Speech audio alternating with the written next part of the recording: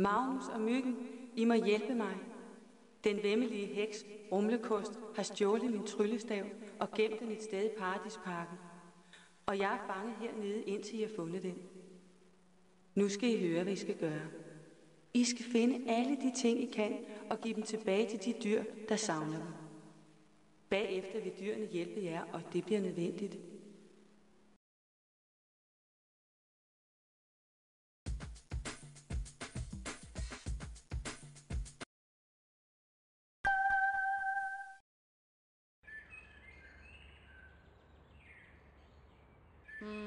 Lad mig se.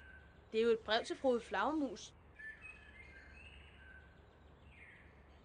Se, en nissehue. Ja, tag den med.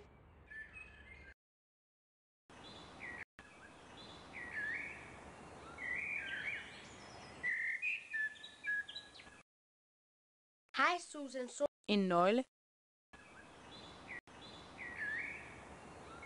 Uff, hvor skræm. Bare folk ville huske at bruge skraldespanden. Det var et par bukser.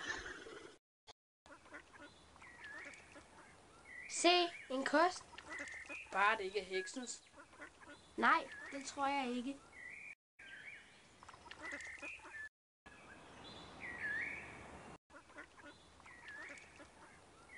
Hov, Magnus, hvor skal du hen?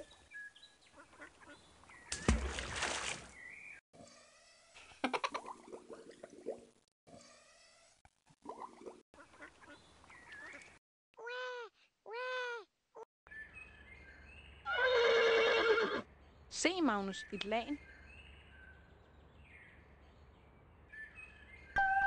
Lad os bygge et sandslot.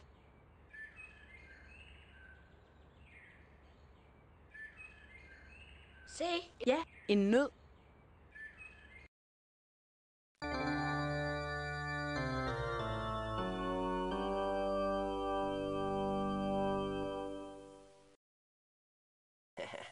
Der var jeg alligevel heldig. Der kommer aftensmaden jo.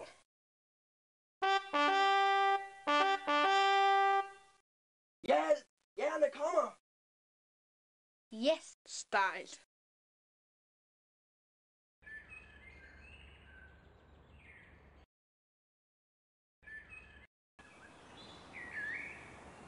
Nå, et spejl.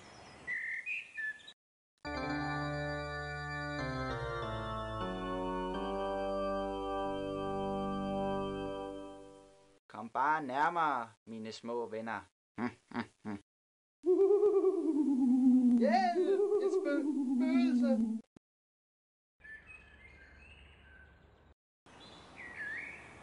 Øv, der er nogen, der har smidt noget skrald. Det er papir.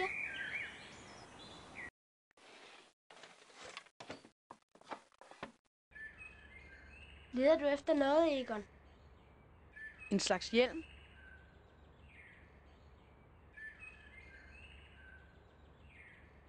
Magnus, der er noget i tønden. Værsgo, Kalle. Jubi, du fandt min bukser.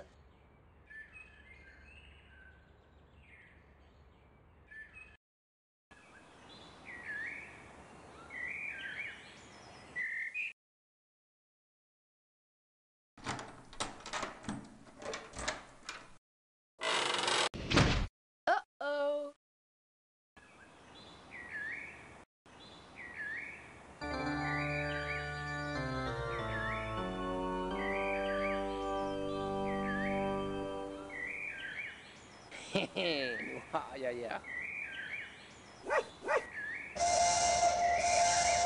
Yippie! Stejlt, mand.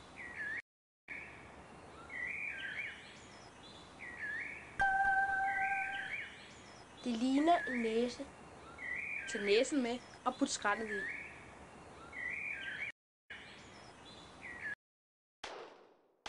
Jeg har noget til dig. Kom, Magnus. Lad hende arbejde i fred.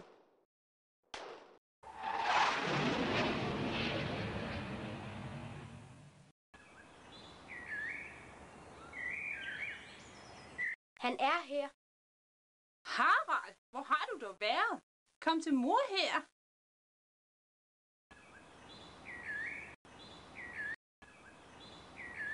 Her er den. Åh, oh, tak skal I have. Jeg kan ikke huske, hvad jeg mangler. Du må lige vente lidt.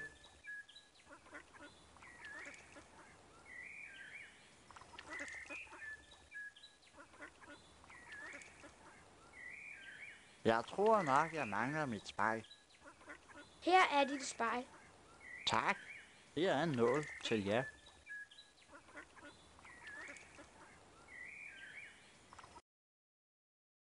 Uh, jeg får hønset ud.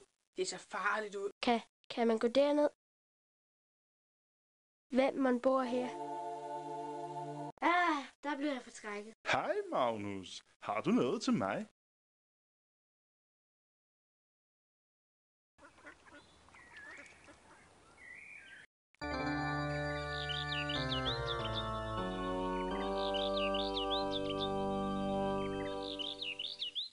Halløjsa, en saftig muldvarpesteg.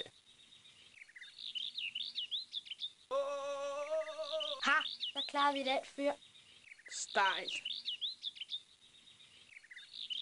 Det er jo jordbær med fløde. Det er jo heksens lyn. Nu er han glad.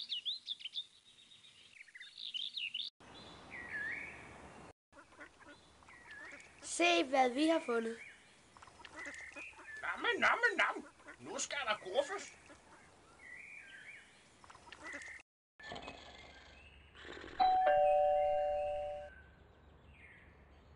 Tusind tak skal I have.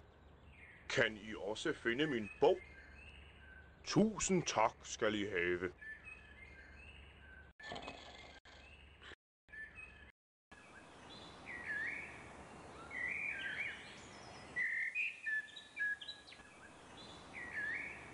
Kors, hvad hun tung. Hold nu mod at tage fat. Er det denne her? Åh, oh, tusind tak. Vi er meget tilfredse.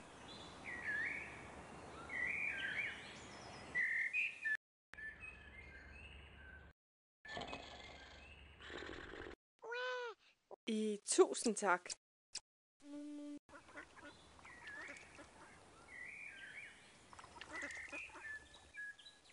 Her er jeres terning. Tak.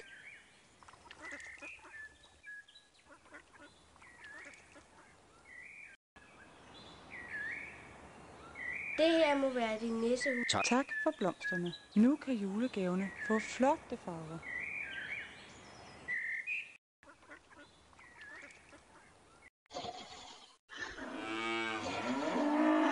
Åh oh, nej, er klokken så mange? Jeg må videre. Godt klaret, Magnus.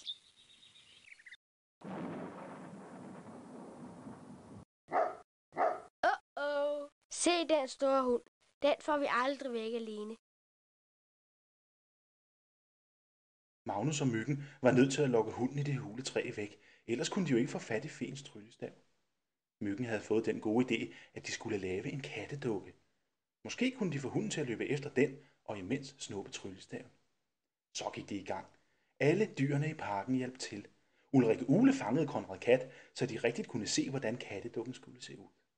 Anton And havde et stykke stof, og mens alle de andre kom med en ting, der kunne bruges til kattedukken, samlede myrerne fyldet. Susan Solsort lovede at hente tryllestaven, bare Magnus og Myggen fik lukket hunden væk. Og nu skal du se, hvad der skete.